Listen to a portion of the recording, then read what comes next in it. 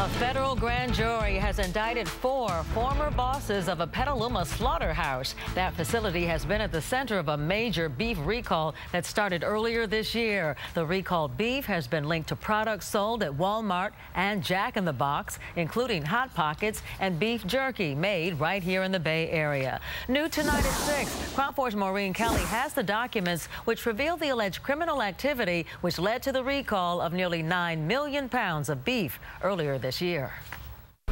In this indictment, the U.S. attorney claims that the top brass at the Rancho Feeding Corporation slaughterhouse were pulling a bait and switch on federal meat inspectors, cattle ranchers, and the American meat buying public.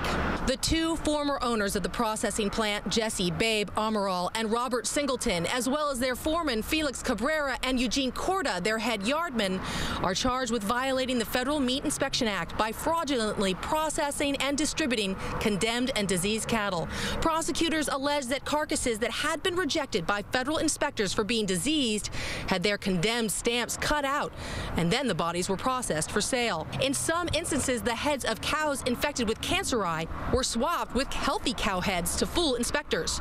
All of this happening while the federal inspectors were on their lunch breaks. One of the owners, Jesse Amaral, is alleged to have then told some farmers that their diseased cattle had died and then charged them a handling fee for disposing the bodies when those animals had actually been sold to market.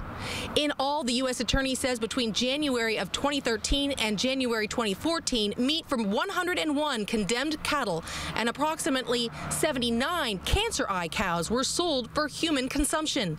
The former owner, Jesse Amaral, faces the bulk of the charges, 11 counts in all.